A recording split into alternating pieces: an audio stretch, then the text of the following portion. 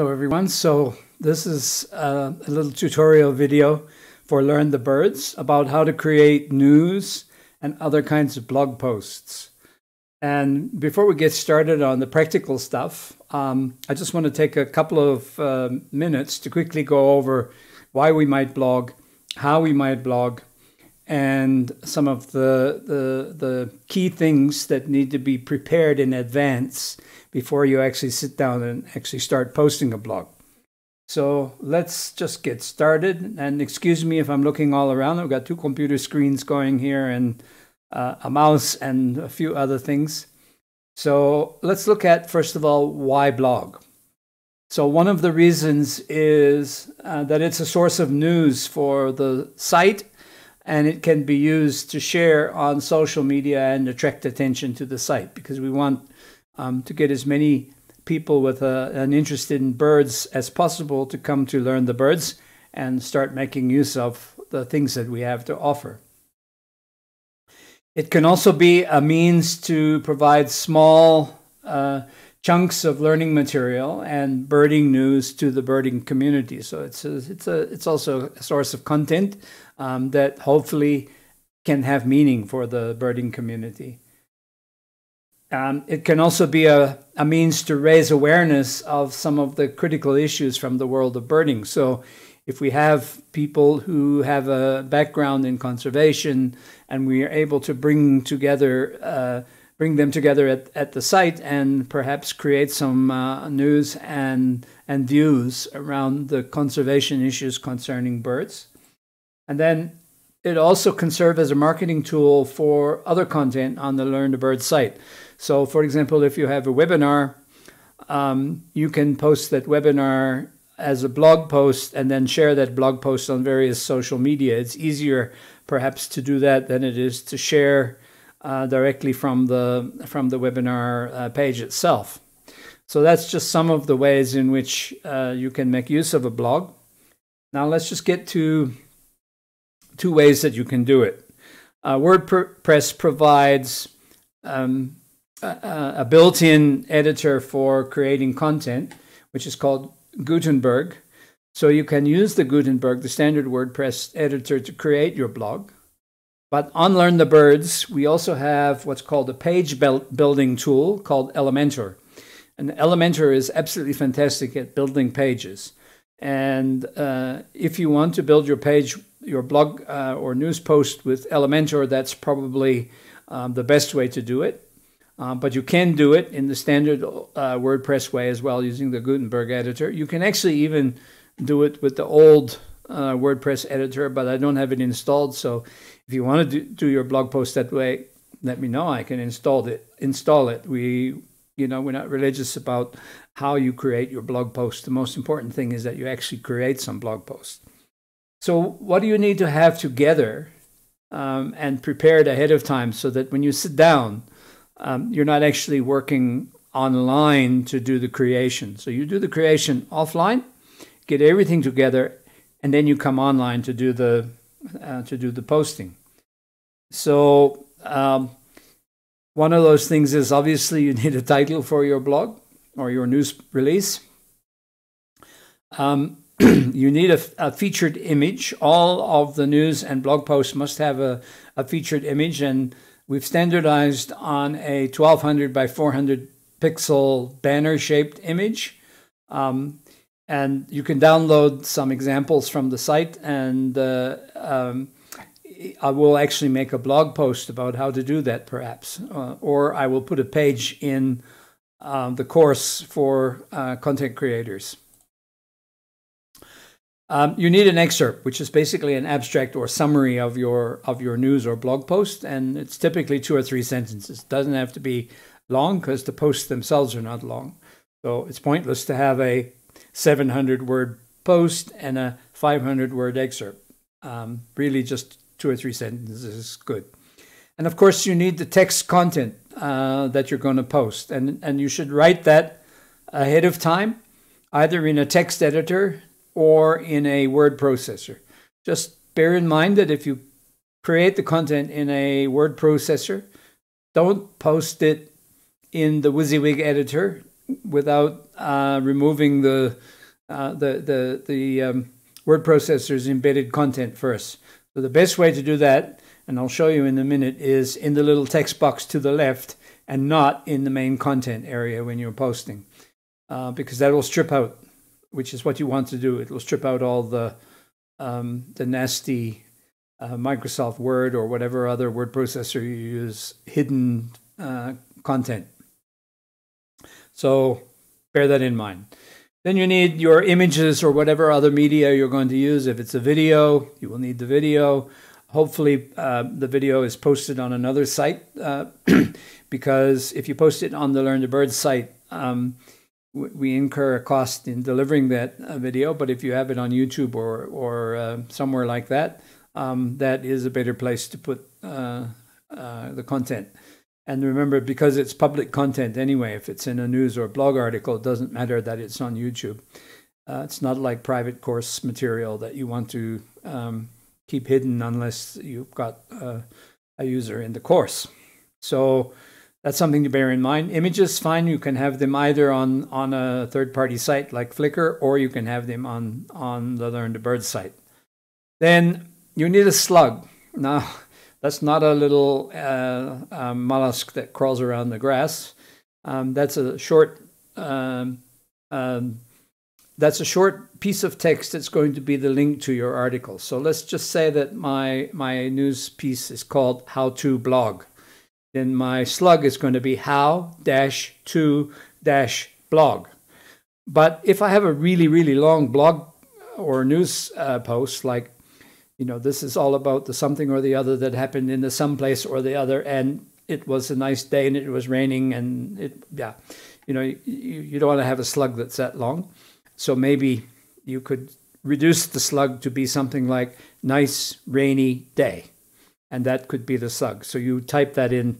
Um, or, or, or add it to the to the content when you actually create it um, not when you are busy working on the on the content, or else you go back afterwards and you you create it after you've typed in all the text and everything. And then, in addition to that, uh, you need to know what category the blog post is going to be in, or the news article is going to be in. Is it news? Is it birding? Is it photography? Is it news from the world of birding? Is it a book review? Etc. So there's some categories on the site that it's good to become familiar with before you um, start creating uh, content and uh, uh, but you know they're not fixed and you can always add your own category as well if you don't find one that's suitable and then tags um, you know these would be the tags that will be uh, uh, make you know let's say that you're posting about i don't know red birds so you'd have a tag called red birds and that would go in the tag spot you might also use birds as a tag um, you may use different things as tags. And uh, uh, if you look at the posts, you will see that on the right hand side, when something is posted, um, there will be a list of categories, and underneath that, a list of tags that look like little tags. And then, of course, the author, which will typically be you, but you might be adding content for someone else, in which case uh, you need to know how to change the author, and I'll show you that um, when we get into the site so so that's uh, that's that's it for now and um, i'm going to now go over to the site and just give you uh, some insights into how to create a blog so bear with me for a second here while the um, the little lesser jacana keeps you company while i open up my web browser and bring it over here and you can see here's the site now um, what we're going to do is we're going to create a blog post and post it on the site. And for that, I have created, when I get to it, I have created a mock-up um, containing dummy text and two images, as well as my uh, featured image. So that's my featured image. Um, this is my text.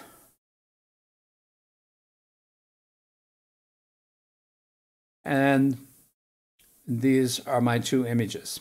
Okay, so let's get started. So the first thing we're going to do is move this, um, move my file manager out of the way so we can get to it. Now, there's two ways we can do it. I've been building uh, menus here that will help um, people create content and navigate the site. So we've got uh, manage news and blogs, and then we've got posts, new posts, manage categories, and manage tags. So if you want to see what tags and categories are there already, you would go to manage categories, manage tags. Um, if you want to create a new post, you can do it here, or you can click on posts and do it that way. Then um, WordPress also has this uh, administration menu at the top here, so you can go to dashboard. And then depending on whether you're uh, whether you're an administrator or, or, or a creator without administrative rights, you will see different things on the menu here, but one of them will be posts, and you can see all posts and add new. So you can either do it from the main menu or you can do it from add new. So I'm going to do it here. The, the end result is exactly the same. You end up on the same page one way or the other. So here we are. We're going to create our, uh, our blog post here. So this now would be uh, the Guten, Gutenberg editor. So if you create your title here and then you start uh, writing or type, after you click on this text here, you'll be using the Gutenberg editor. Okay, so I'm going to just bring my window, my um, uh, um, mock-up text here. So you can see I've got lorem ipsum dolor sit amet as my uh, post title. So I'm going to copy that. And I'm going to add it to the, uh, uh, add it here as my title. Okay, I'm not going to create any text here using Gutenberg. Um, I'm going to go to Elementor and you can see there's an edit with Elementor link up here. But before I do that, I'm going to set up the things that I, I've got down here. So what is my category? What did I say in my um, in my post was going to be my category? Guess I don't I don't have it, but let's imagine that this is news I'm creating. So I check the news category, and then the tags. Um, I don't want to create tags uh, with nonsense in them, so I'm just going to say uh, news as a tag as well. Uh, it's kind of cheating a little bit, I suppose, but you can add more tags. Then I want to set my featured image, right? So I'm going to go here. Uh, and then you can see that uh, my image is not yet uploaded. So I'm going to click on upload files. And then I'm going to go to my file manager where I have the image and you can see I've got it here, blog dummy featured. So I'm just going to upload it here by dragging it over there. And you can see it's uploaded here. Now I'm going to, uh, and you can see that it's checked by default. So I'm just going to make that set featured image. Now you can see I've got my title, I've got my um, uh, category, and I've got my tag. Now I need to put my excerpt in here. So I bring back my, my text editor here and you can see that my excerpt is here. I've got it uh, labeled as excerpt just so I don't get confused. And, and that's it. That's all I need to do. Um, that's all I need to set up um, initially. Okay, so now I can start editing with Elementor. But before I do that, I want to save a draft. Okay, so now you can see it's saved. Now I can edit with Elementor. Uh, and Elementor takes some time to load all of its um, bits and pieces. So just bear with it. Um, um, we are slowly upgrading the uh, capabilities of the site as um, as it gets used, but to avoid having to spend uh, money on on uh, on the site, when it's not being heavily used, we will only um, um, uh, increase the, the memory and CPUs and things like that as it gets used. So it might be a little bit slow for me right now, but I'm the only user, so that's fine. So then I'm going to insert um, one of these structures here. You can have different columns, single column, two column, three column, four column, etc. So I'm going to insert a single column and you can see that it's here and I can I can click here and I can configure its features over here, but I don't really have any features that I want to configure right now. I haven't got any content in it. So I click on this little, um, whatever you call this little dotted square up here. And I pick what it is I want to add. So I'm going to edit. I'm going to add text. So I click the text and I bring it in here. So now this is where I start adding my um, my text content. I'm going to just move. Uh, I'm just going to move this uh, uh, dummy text editor out of the way here, uh, and my screen has crashed. How interesting is that? Okay, here we go. I had accidentally opened something in the background there. So let's just move this out of the way. I'm going to move it onto my other screen. Uh, but you can see what I'm going to do. I'm going to copy this paragraph, and then I'm going to copy this paragraph. Then I'm going to upload this image, and I'm going to copy this paragraph, this paragraph, upload that image. Okay? So let's move it over here. And when I'm pasting text, I'm going to always paste it in here so that I don't get any of the uh, nonsense that comes with uh, word processor, copying and pasting from a word processor. So that's my first paragraph.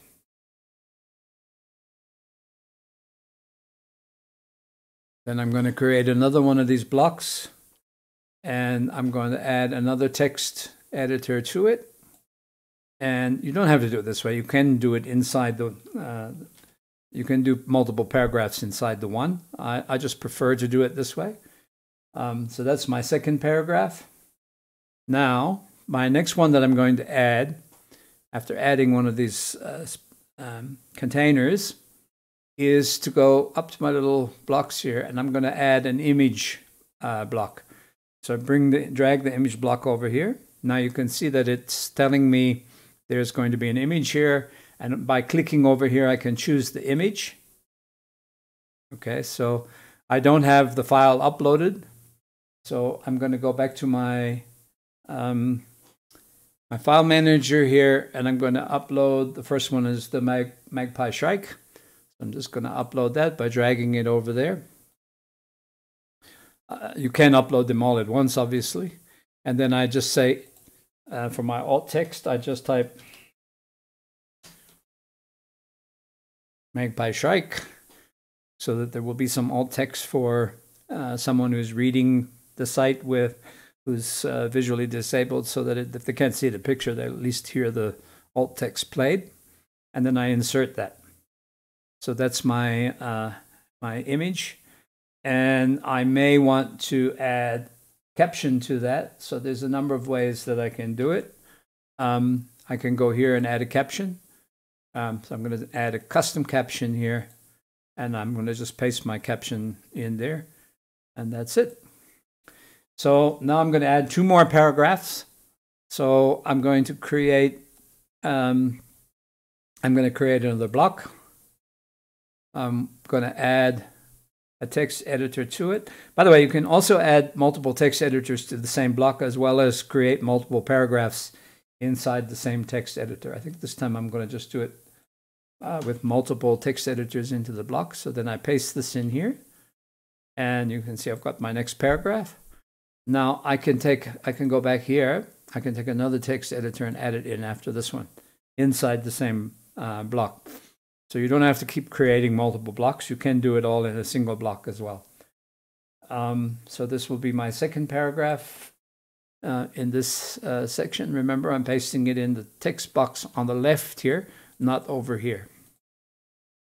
Okay, then I've got another uh, image. I can also add another image to here but I just prefer to do it this way. Probably it uh, is less efficient uh, because it adds more code, which makes the page, take longer to load, but it just feels uh, better and gives me more control. So there's my second image. Now I go here and choose the image. I haven't uploaded it yet. So I choose upload files here on the top left.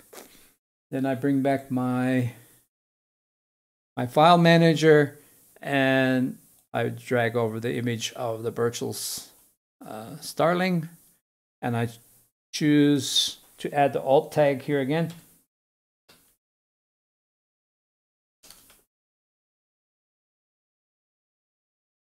and I insert the media.